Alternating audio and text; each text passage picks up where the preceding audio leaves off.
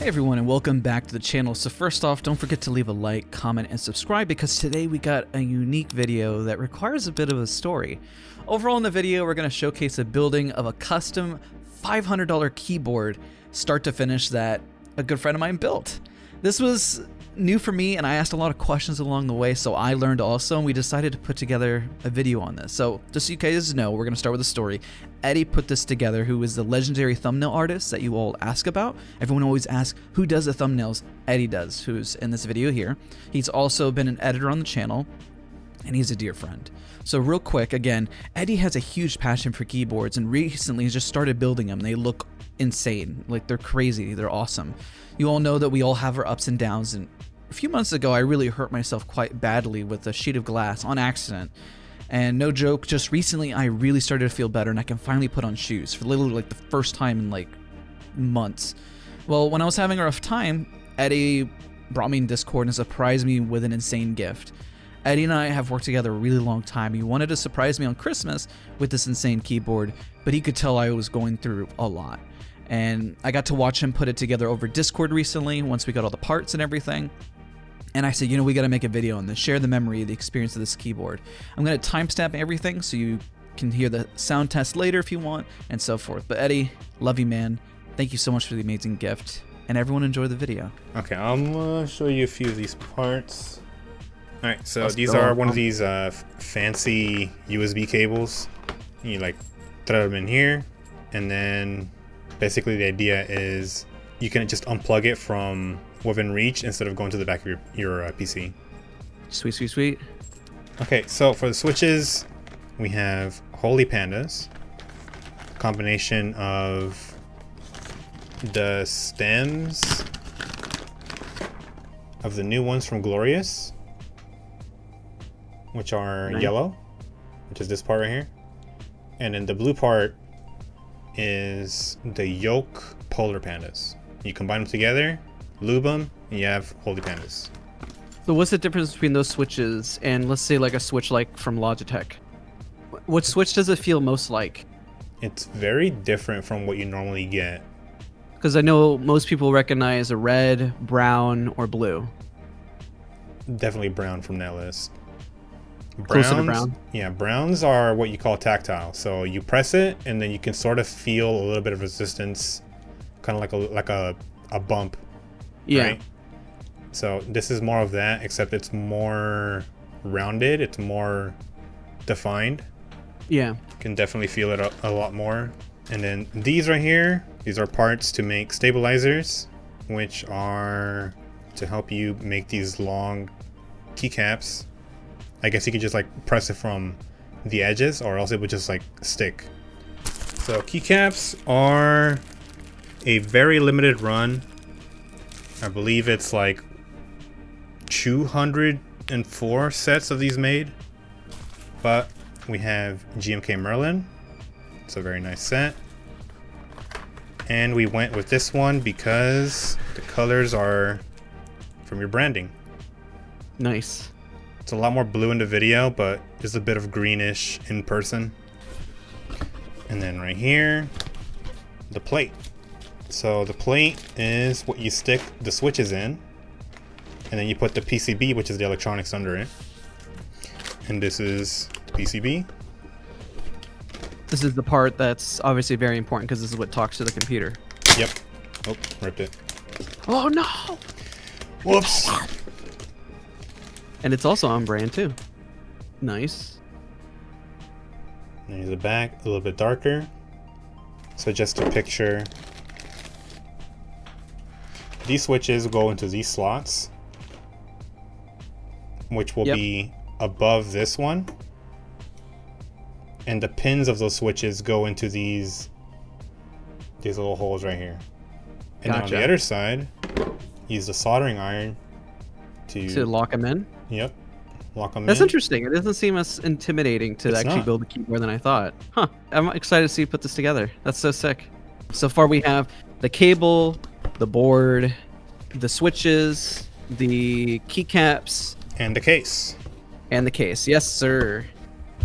We got what they call a tofu case in the colorway called E White. And then here's the little bump-ons to put at the bottom, the corners. All right, so the first step into building this would be, I have to set these up, the stabilizers. So I have to Okay. lube them so that it's smooth when you press it, and then they go onto this. And that's again for space spacebar, backspace, those those big keys. Yeah. Any key that is like two units or larger. And by unit, I Got mean it. like one key is one unit, backspace is two. It's the length of two Got of it. these. And then we have this, which is, Is that the lubricant? Yep. Which is called 205 Grade Zero and is extremely smooth. Or do you just buy them as stabilizers? Is that what you look up? Like what is what are what are these? Or they come like in a package together? Um, there's different types of stabilizers. Uh, these are called GMK stabilizers, Mhm. and these go directly on the PCB. So you'll see these like two holes right here. Yeah. So they would stick right oh, here, I see where they hook on. Yeah. and then on the other side you would screw it in, so it stays in Got place. Got it. Cool, cool. And then we have this bar that connects them, so that whenever you press it and you let go, it'll always go back up Cool. to push the the uh, keycap back up. I'm learning. Hopefully people are learning too. All right, so for these, there's two parts right here, Mm-hmm. and there's a So you can part. stabilize it through. Okay. Yeah, there's like a hole in the smaller piece that went inside for you to stick the this part. Yep. So when the switch is pressed, it'll be like this. I heard a little click too. Yeah, and then when you let go, it goes back up, like this. Nice. But because it's moving, it's a moving part, sometimes it makes a rattling noise, which when you buy a keyboard on the shelf, you know, mainstream keyboards, most of the time they're either badly lubed or they're not lubed at all. So you'll hear this Mm. like weird rattly noise that it's just not nice to hear. So Yeah. that's why we have the lube to take care of that. And yeah, it's just a matter of putting these together. This is for the spacebar, 'cause it's a lot longer. Yep. Um, And the other ones that are different shaped are for backspace and shift Yeah. and stuff. smaller ones are for backspace, enter, Awesome. shift. All right, here it is. Are they like actual like artistic paintbrushes that you're using? Yeah. Nice. Just find like Oh, gotcha. this size, because the idea is to put the lube inside the opening, Yeah. Oh, I get it. I get it. and then on this piece you put it on the size of this, because this will be touching the walls of the inside of this one. How long does that last? That uh, lubrication? Um, as long as you take care of it, it doesn't get super dusty. It should last you a long time.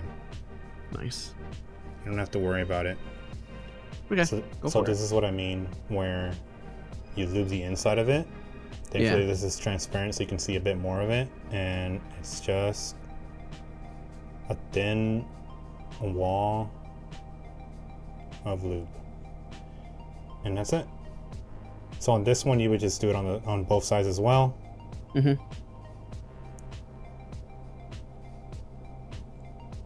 Flip it over. Try not to get lube on your fingers.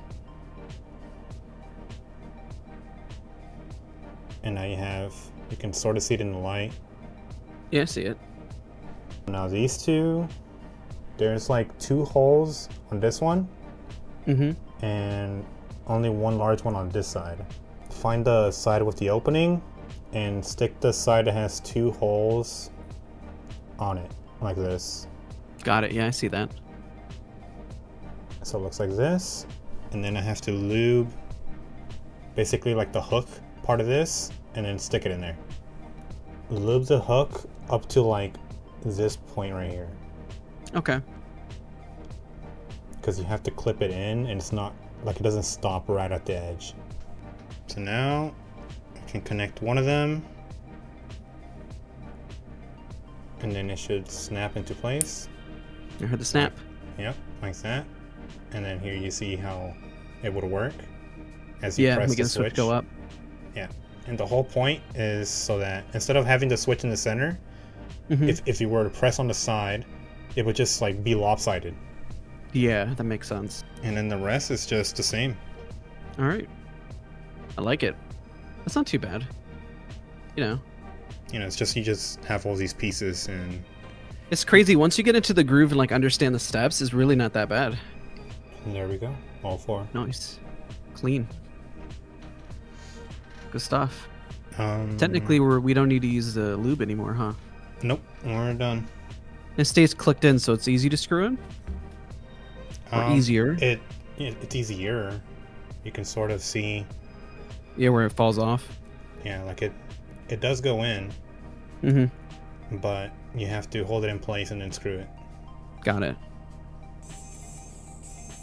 Oh, nice. It's electronic. That's sick. And there you go. That makes your life easier when it's electronic. Jesus. There's another mod where you put like band-aids under the stabilizer so that when you press it it's like um a What do you mean, like band aids? You mean like actual physical Yeah. band aids? yeah yeah Hmm. it's basically just to like smoothen or soften the uh, key press of the stabilizer Okay. so you don't hear like the noise but honestly not needed And why would you want to have a nicer keyboard layout? What is this called again? the plate Yeah, why would you want a, a more expensive plate? So different materials changes how stiff or how soft a key press is. Mm-hmm. Um, it's just one of the factors. And Gotcha. uh, if you change it to like, for example, acrylic, it'll be a bit softer. You know, if this is a lot more durable, this will be a bit Mhm. more harsh. Um, but certain materials sound a lot better than others. And Holy Pandas is like perfect with brass. And it just Gotcha. happens to be a color that matches your branding. Nice. So here's a switch. Okay. Here's the pins that you need to see. There's two two pins right here. I see. Is that what you're gonna solder in? Yeah, so if you look at the cutouts, you can see how the pins go Yep. at the top, Okay. like this. Except the plate needs to be in between these two. There you go. Nice. And that's in place. That's one switch, a million to go. What's the most efficient way to do this? Is it better to put all of them in first, or is it better to pin them into the board? Um, I would definitely put them in the corners so Yeah. that you can solder them and then you fill in the rest. Because then Got you it. know that everything is uh, Aligned. aligned, leveled. You don't have to worry about if it's like off. And this is what I mean. Hold on. You kind of want the switch to be flush on the PCB. Got if it. It's, if it's lifted like this, that's no bueno.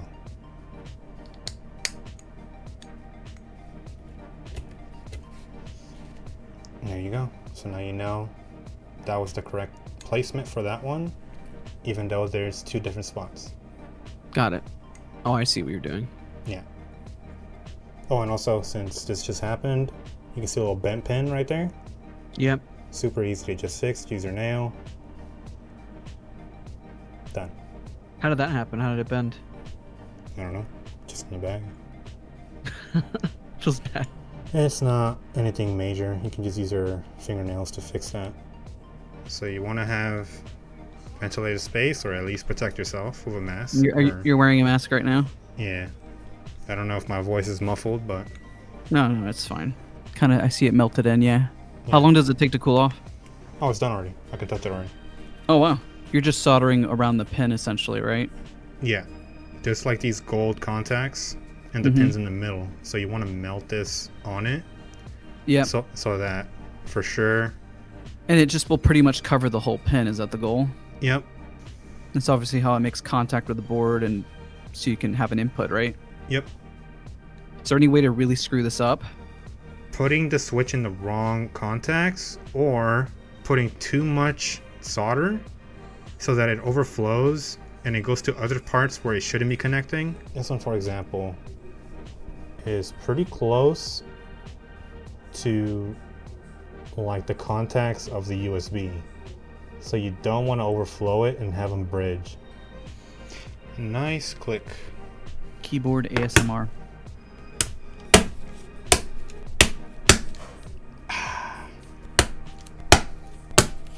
Someone who watches the whole video, they're gonna be like, "You just kept saying nice, Nice. nice." Nice. That's what hope. That's what season is. Oh my It's after god. the- Oh no. What? No, I'm just kidding. wow. Okay. Nice. Nice. Nice. Yes. Actually? Nice. Subscribe for more content. Nice. Nice. I'm gonna die at this rate. That's gonna be awesome. Nice. Nice. Nice. Nice. Oh, nice. Nice. Nice. And switch. Click. Nice.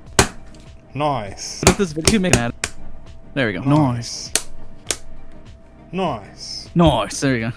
That's the last one. That's the last noise. Flip it over and solder the rest. Once you solder it in, imagine you soldered it in, but you saw it was bent. What do you do? That's it? Uh, you have to use a solder sucker to get the solder out and then pull it out. But sometimes solder suckers are unreliable and you have to use a different method, which I don't have on hand. Oof. Then, then the whole project's screwed up. This is what I mean. So you would use this thing, you would heat it up, use this to put it over it, and then press Yeah. the button to take it out Mm. as it's hot. Moment of truth. Now the Check. fun part. We just get to smack all those keycaps on.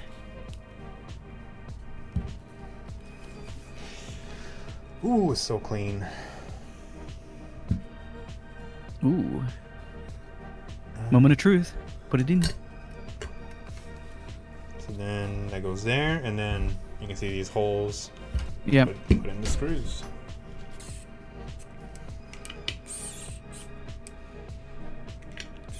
Pretty much.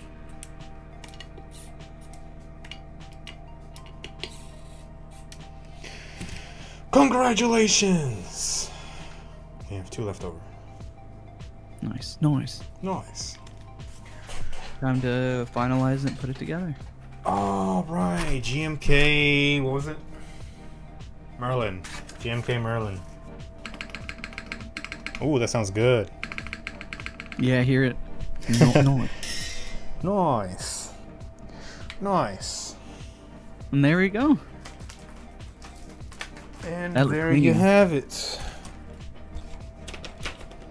It's done. It's finished. Well worth the wait, man. I like it. The deed is done. We did it, man. You did it. I was just here along for the ride. It's a nice frame. Look at that. Clean. Yeah, it looks nice. Looks good. I can't wait, man. I'm excited. Let's go. Has some heft to it, you know?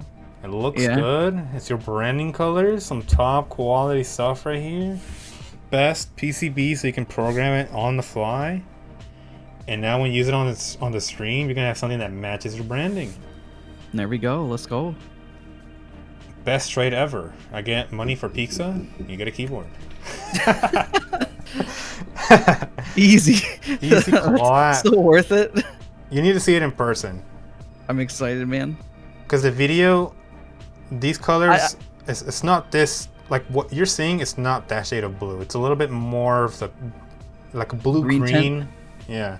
I appreciate you, dude. Seriously, that was huge. When you like, I, think that was when I hurt my toe and all kinds of crazy stuff was happening. You're like, bro, I got you a keyboard. Yeah. I'm like, oh hell yeah. I was holding off. I meant to do it a lot earlier, um, but I was like, ah, but I need to do so much. I need to, I need to actually record a bunch of stuff, and then send it to you, without you knowing, and that's uh, gonna take a, Yeah. a lot of time to plan that out. But then you had a really bad day, and I was like, you know what? Let them know. Yeah, that was a rough day, dude. Let them know what's happening.